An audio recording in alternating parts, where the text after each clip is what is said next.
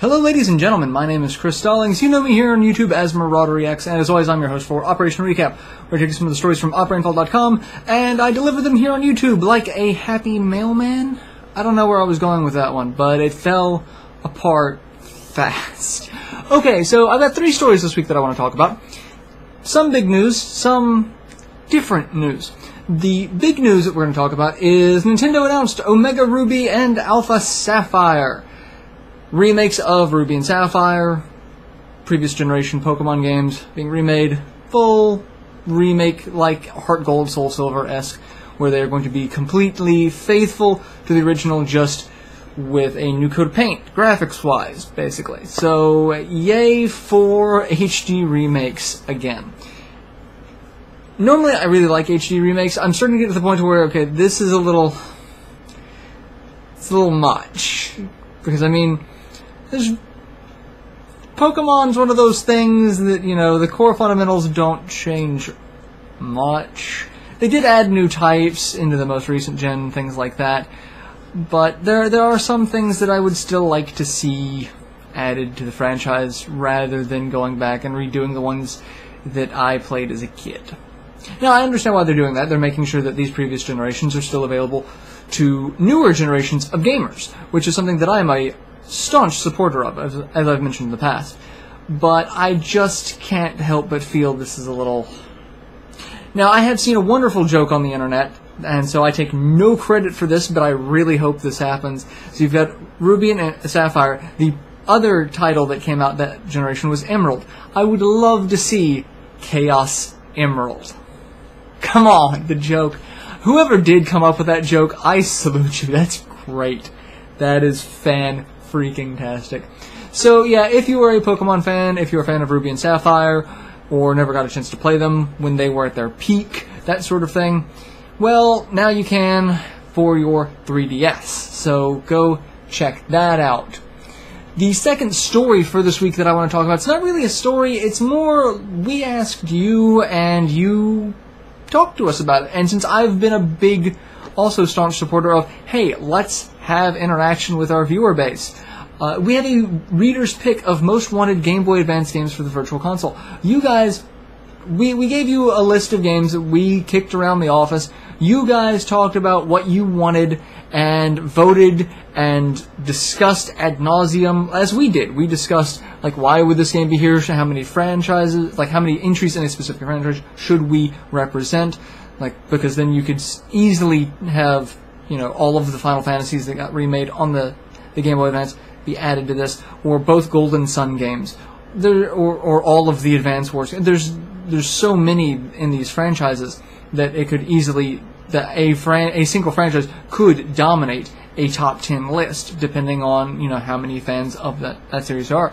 So we we talked about it a lot but you you were the ones that talked about what you wanted to see most and we we put that up on the site reader's pick of most wanted game boy advance games go check it out it's four pages long because we did take a little bit of time to discuss each game that was was on the list and i gotta say most of the time i I look at readers' picks versus staff picks for various websites, and there's there's always kind of a, a, an odd disconnect. Like there's at least a handful of titles that are on one list that aren't on the other. That you're sitting here going, why why are they not on both lists? Those are great games. At least I find myself doing it. This time, I'm sitting here looking at this list, and I am actually amazed at just how in sync our audience is with a lot of our, our personal tastes at least my personal tastes. I can't speak for the rest of the staff, but I, I was very impressed by this reader's pick list. Go check that out if you haven't already, or if you have not voted on it. It's voting sadly over and that sort of thing. But you know, it's the the list is there. Go let us know if you agree or disagree with that list because I I kind of agree with it. So I'm I would love to see all these. So let's let's just let's aim for that. And the last story for the week is probably going to get some people riled up. Uh, Nintendo reiterates stance on same sex couples and Tomodachi life. This got so many comments on the article itself. Those of you who don't know, Tomodachi Life is kind of a, a life sim, kind of like playing the game Life, but with a little me character. it had the ability to have a same-sex relationship, kind of, by having people wear the same style clothes. And it, a lot of it was a lot of it was inconsequential, to be completely honest. But Nintendo removed that feature and issued a statement that they were not intending to make a public statement. They were not intending to address a social issue with a game. But by doing this and issuing the statement, you inadvertently have. And there's no good way around this. There really isn't. Because you've got people on both sides of the argument sitting here saying, respect my beliefs. And if you don't respect my beliefs, you're just intolerant. It's sadly not the way it works uh, on, on either side. I'm a, a big, big, big supporter of equal rights. I cannot stress that enough. Some of my best friends, I, I have to sit here and watch cringe every time some sort of new legislation passes that affects them and only them directly because of who they are. And that that depresses me. And that makes me a very angry and hate-filled person when it comes to this topic. So I'm going to try to not let that vitriol out because I want to see my friends happy. I want to see everyone have the same rights and privileges and the, the same ability to experience life in a positive way that I can and that I have. I'm not saying my my life has been all roses, but there have been moments that have been fantastic in it, and one of them was getting married. And I am saddened that my friends cannot experience that, and that things like the, the, they're so small in in stature, like this game, causing so much animosity between groups of people. Just it, it depresses me.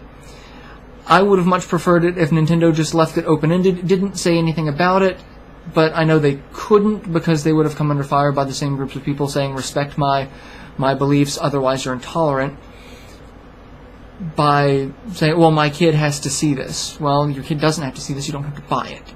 But the same can be said for the people on the other side who wanted to see this. Well, it's not in it, you don't have to buy it. Buy a game that does. And it's, like I said, there's no good way to sit here without just name calling. And I refuse to do that. I, I, I refuse to name call as much as I want to and as much as I have in the past. But Nintendo has, has put their stance on this, and uh, this is really no different than some of the, the same sex controversy that popped up in the Mass Effect series or in the Elder Scroll games where you have the ability to create your own avatar and if you have that ability to create your own avatar and if there's any sort of romantic connection, romantic underlying to the story, then people are going to get up in arms about this. And I sit here and say, it's a game. Get over it. If any sort of lifestyle choice, one way or another, uh, bothers you, then you probably shouldn't be playing a game in the first place because games are about escapism at the, the most. That's like me getting upset that Mario kills turtles and fungus. Maybe I'm a fungus fan. Maybe I collect spores, molds, and fungus like Egon Spengler. And uh, the fact that he, he squashes Goombas, that offends me and that, this is how ridiculous it sounds. The fact that I can't even continue this statement without just laughing. It's ridiculous.